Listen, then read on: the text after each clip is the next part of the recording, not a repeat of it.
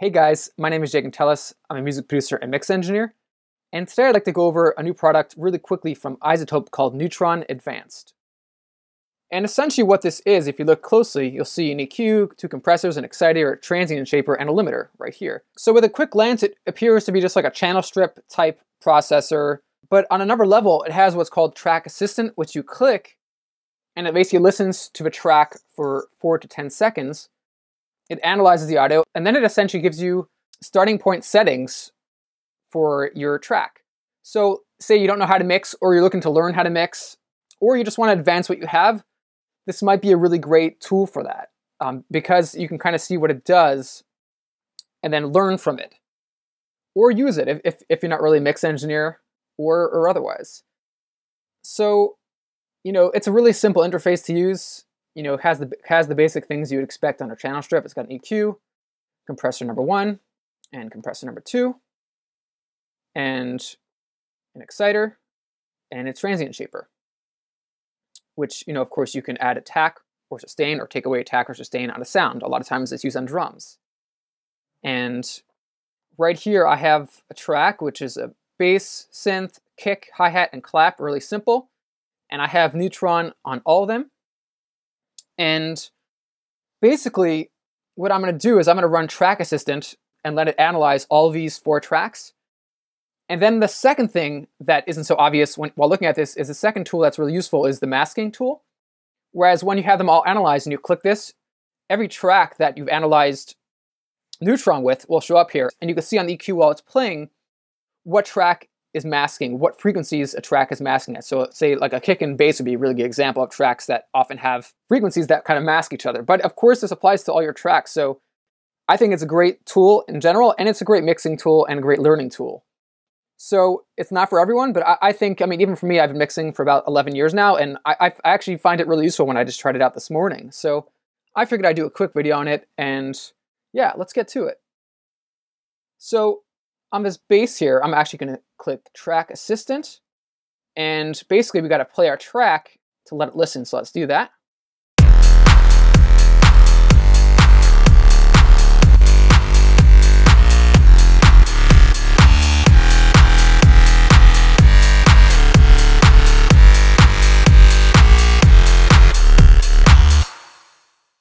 So almost magically, it kind of zoomed in on some EQ changes, added some compression, and it also added some a bit of exciter. And that doesn't sound extreme, but it sounds good, which I'm glad it's not extreme because that would be kind of scary as a tool. And let's also check out what it did on the other tracks. So we have a kick. Let's take a look at that.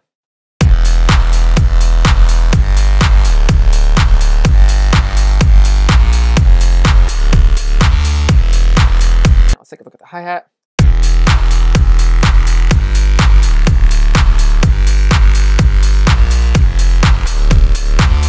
And lastly, there's a clap.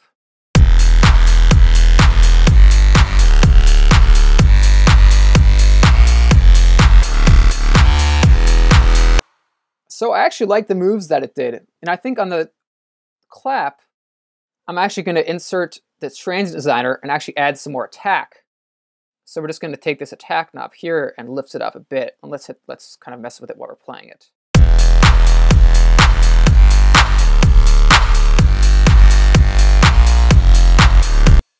And yeah, I, I, felt like the attack gave it a bit more kind of bite at the top of the hit, which is nice. It, it, sounds more like a clap to me.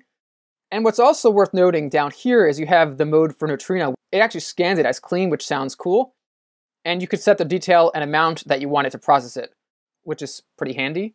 And of course, you can go into all the stuff and you don't have to use the track assistant, and you could just mix it as you would any other channel strip, which is pretty handy. So Again, this is a really simple interface. You got your EQs, compressors, exciters, transient shapers, and over here is the limiter. You can insert it and select the mode you want. And now the second thing I mentioned about this EQ Cipher Track Assistant, which is kind of how we came up with these settings, is the uh, masking feature that's built in. So everything, you know, all four tracks are scanned in. So they basically see each other and can speak to each other, which is really cool. On the bass and kick, let's actually use the masking function. So as you can see here, I labeled this first neutron track to be bass, but otherwise it'll just say neutron 1, neutron 2, so you might want to label that for the sake of knowing what track you're on. And then we're going to click masking. And basically, you can select whatever other track Neutron's on to kind of see both tracks as far as you, you can see and analyze both tracks. So we're going to select the kick and let's hit play. And basically we'll see the bass track here and the kick track, as you see it's labeled here, will show up here. And let's see what we got.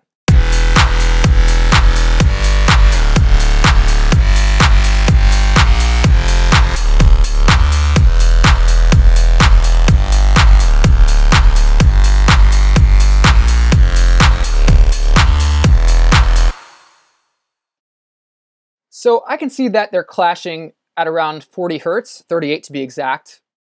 And of course, we don't want to take out too much, but what I actually am going to do is I'm going to hit this inverse link here, which essentially says that if I raise something on one track, it basically gets cut on the other track and vice versa. So let's actually boost here. And now if you look on the lower kick track, if you while I'm doing this, you'll see that it's actually cutting in the same exact frequency, which is really cool. And let's actually hit play and let's see what that sounds like.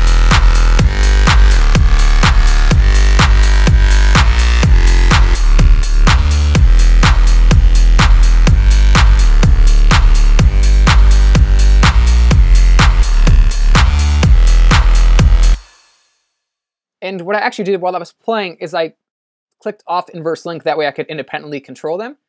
And I kind of did a little bit more of a boost and a cut, but not totally even.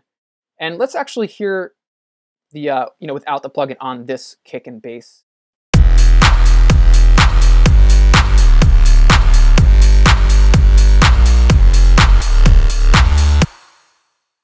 And let's do with it again.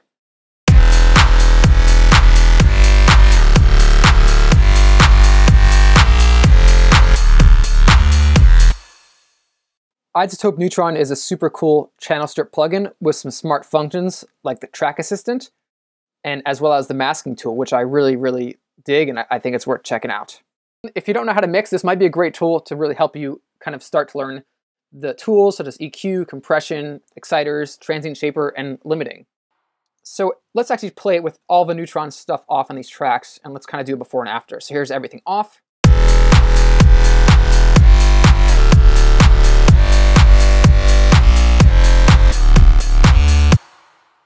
And let's get everything back on and let's play it back.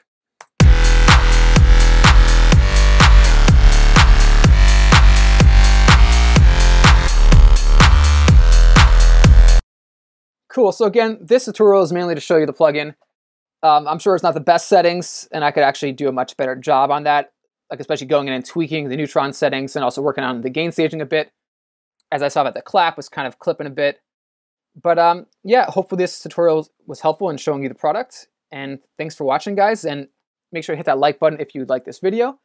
And let me know in a comment if you'd like to see any other future videos. And subscribe if you aren't already. All right, thanks for watching have a great day.